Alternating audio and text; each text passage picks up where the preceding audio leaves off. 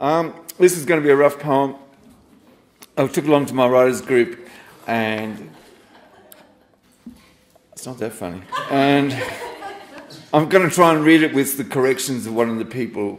Like, you start out roughly, and you get better towards the end. It's called Gold History near Bendigo.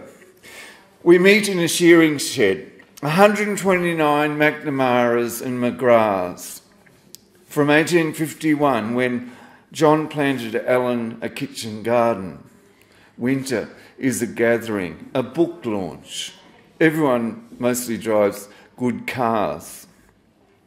The French mother of my children is there, my current, as is my current girlfriend. She could have been at lunch with her ex union pals. I have a tooth issue and my breath is bad.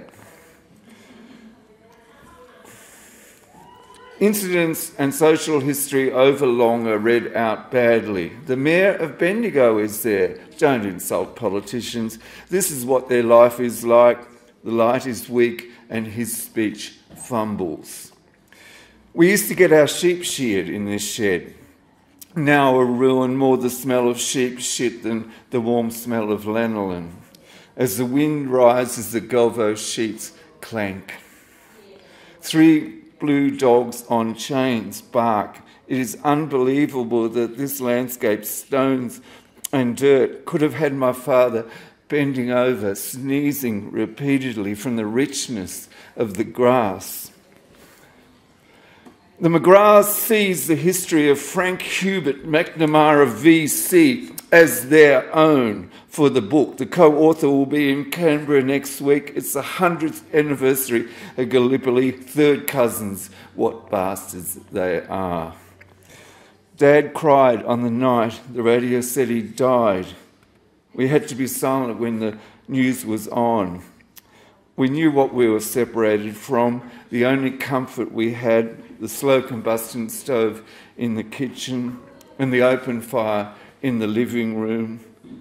Mallee roots, twisted, gnarly stuff. The chimney was imperfect. Smoke got in our eyes. The wallpaper had gold twists in it. Were we living in Regency perfection?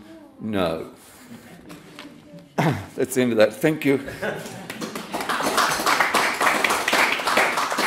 Nolan Tyrrell said at um, a gig here, he's, he's, he's, wanting to give lessons in how to you know, perform. And he had one little trick. I thought, my God, I've got to learn that one, which is when you finish the poem, and they don't know you're finished because it's an inconsequential tale, and they've got no fucking idea what you're carrying on about. Sorry about swear. Um, what you've got to do is you've got to go back like that, which tells the audience, that's done, clap.